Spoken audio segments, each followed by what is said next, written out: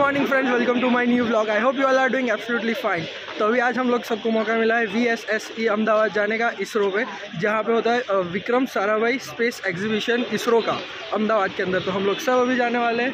ये सब astronomy club के मेंबर्स हैं सारे। और अभी जाते हैं, सुबह के साढ़े छः बजे निकलने वाले। तो अभी पहले बस में बैठ के निकल जाते हैं, क्योंकि अगर लेट हुए तो एंट्री में पता नहीं। वैसे तो बफर टाइम लेके ही निकल रहे पर एक बार निकल ले, फिर कोई दिक्कत नहीं है। तो हमें पता नहीं है बस कौन सा है लेकिन इंट्यूशन मुझे कह रहा है कि शायद वो वाला बस हमारा बस है। देखते हैं वहाँ जाके। अच्छा। मित्रों बस ये वाला था मित्रों।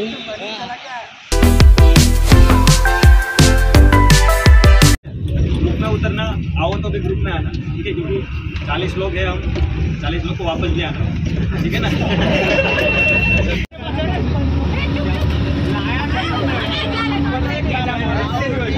इसलिए थोड़ा सूर में चिल्लाने का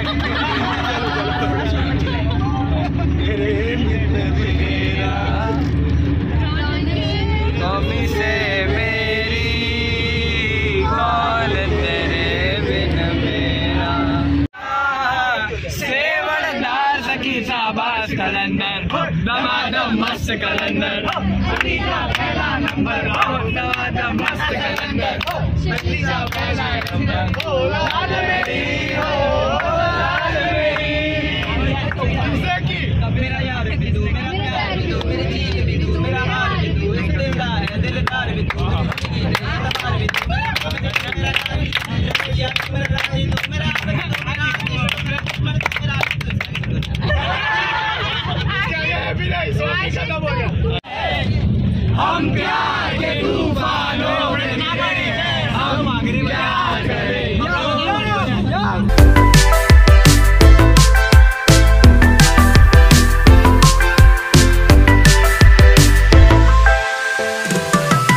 का पैकअप हो रहा है। काहे की वी रीच आर डेस्टिनेशन क्योंकि वहाँ बाहर जो आपको खिड़की के वहाँ दिख नहीं रहा है, उसी तरफ़ एंट्रेंस तो अभी सब पैकिंग वगैरह कर रहे हैं, अंताक्षरी बंद करके, और निकलेंगे अभी। एग्जीबिशन है, वो ये समर्पण बाग के सामने है तो जो अहमदाबाद साइड रहते हैं, वो लोगों को पता होगा किधर है। और इसको आप एज अ क्या बोल सकते हैं साइन की तरह भी ले सकते हो, कि अगर आपको नहीं मिल रहा है, वैसे तो मिल ही जाएगा गूगल पे तो इसके सामने ही है। ये जो बंदा दिख रहा है और ये जो बंदा दिख रहा है। सेम लग रहा है क्या? कमेंट में बताओ।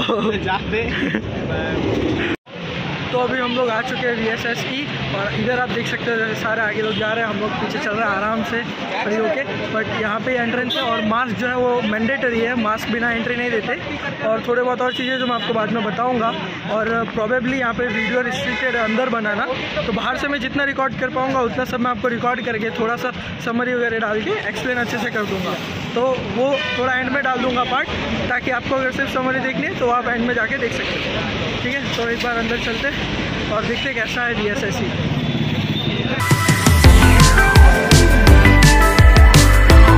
दोस्तों, हम लोग आ चुके हैं Vikram Sarabhai space exhibition and that it is are lovely ISRO तो अभी तो हमारा टाइम है दस बजे का, साढ़े नौ बज रहे तो हमको थोड़ा आधा घंटा वेट करना पड़ेगा। यहाँ पे थोड़ा देखते हैं, बाहर से अभी तो। और ये रहा G S L V mark three जिस, जिसके अंदर ही हमारा चंद्रयान टू मिशन भी हुआ था। अभी तो यही है, जो है वो ये है, अभी अंदर जाएँगे। और अगर कुछ रिकॉर्ड करने दिया तो आपको दिखाएँगे। तब तक के लिए आप करिए आराम, हम जाके अंदर थोड़ा करते हैं काम।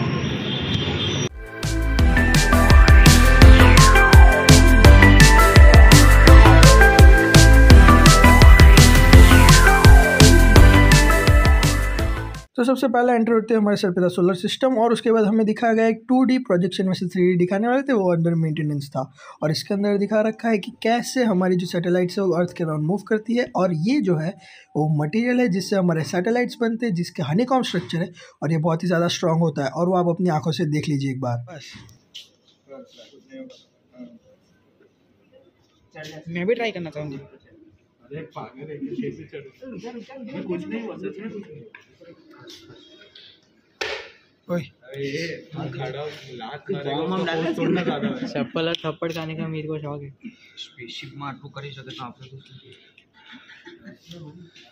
यहाँ पे एक अहमदाबाद अर्थ स्टेशन का भी एक छोटा सा प्रोजेक्शन दिखा रखा है हमें और ये है मार्स ऑर्बिटल मिशन के अंदर जो सैटेलाइट लॉन्च हुआ था वो और ये है चंद्रयान वन जो हमने लॉन्च किया था और इसी के साथ यहाँ पे एक रियल साइज़ सैटेलाइट भी रखा हुआ था और ये है उसका ह्यूमंस के साथ कंपेरिजन देख सकते हो कितना ज़्यादा बड़ा है।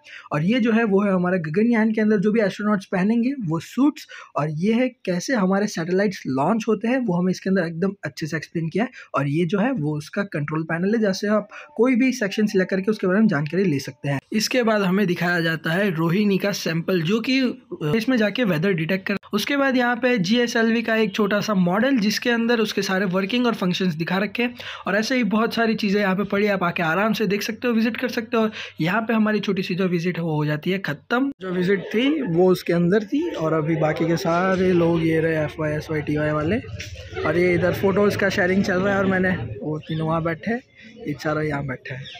तो अभी एग्जीबिशन हो चुका है, ख़त्म, और मैंने मोस्ट प्रोबेबली जितनी भी चीज़ें थी एग्जीबिशन की फ़ोटोज़ और वो सब ले रही है, वो मैं आपको सिनेमैटिक्स में मोस्ट प्रोबेबली अभी तक दिखा दिया रहेगा।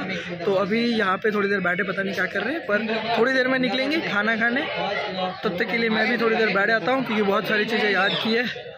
तो मज़ा बहुत आया इधर आने का। मैं आपको इसके बारे में थोड़ा सारा सब कुछ ब्रीफ कर दूँगा वीडियो के एंड में तो वो मिस मत कर रहे अगर आपको इस चीज़ के बारे में ज़रूर जानना है तो ठीक है? हमारे सारे टी वाई वाले भैया लोग हैं। तो पहले इन ब्याह से पूछते भाई आपका एक्सपीरियंस कैसा था? बहुत अच्छा था। क्या मतलब कुछ इलाबोरेट करना चाहेंगे उधर के बारे में? सस्ते में अच्छा मिल गया। बिल्कुल हाँ हाँ पर एक छोटा ब्रीफ कर दो कैसा लगा आपको? बहुत अच्छा था। बहुत अच्छा मज़ा आया?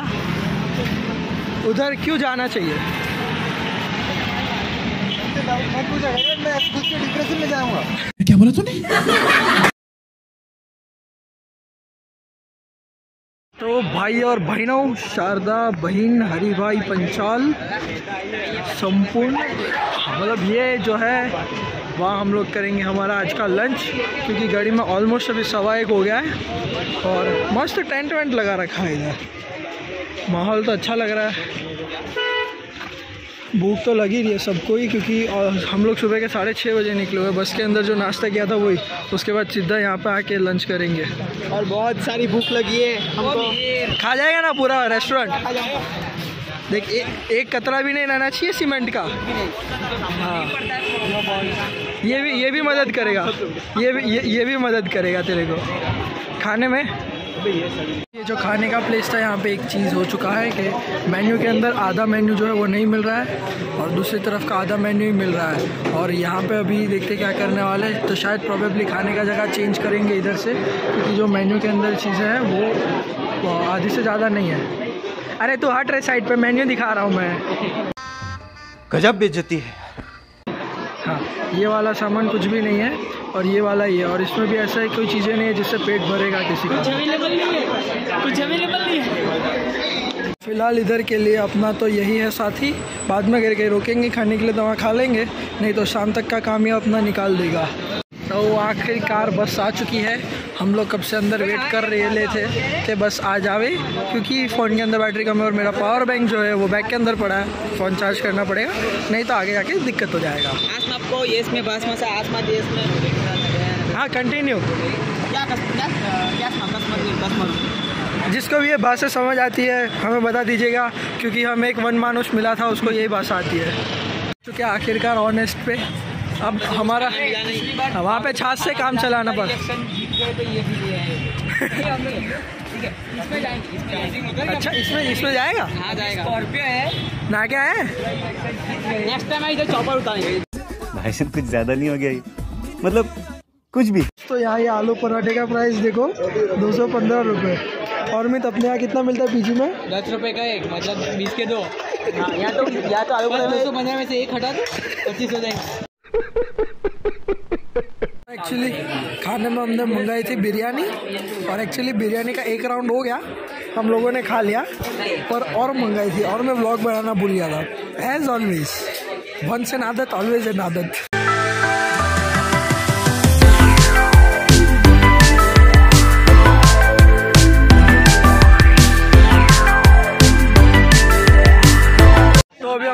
वगैरह खा के हो चुका है और सारा टूर वगैरह ख़त्म हो गया है। अब सीधा एक ही है कि अब डायरेक्ट घर जाना है। तो मैं अभी मोस्ट प्रोबेबली सो रहा हूँ तो अगर कुछ भी होता है तो मैं मिलता हूँ थोड़ी देर में या ये लोग कुछ भी रिकॉर्ड करें तो वो आएगा। ओके चलो आए गुड नाइट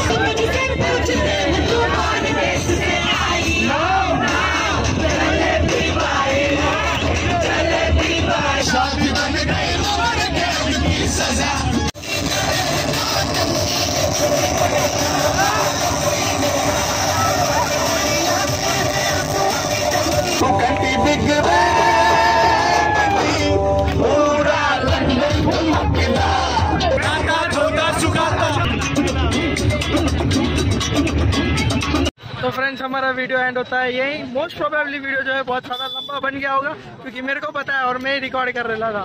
तो आज के वीडियो यहीं तक एंड करेंगे। तब तक के लिए keep loving and keeping awesome और ट्राई करेंगे और जो भी अलग अलग जगह है वहाँ पे जा पाए। मिलता हूँ आपसे नेक्स्ट ब्लॉग में। तब तक के लिए बाय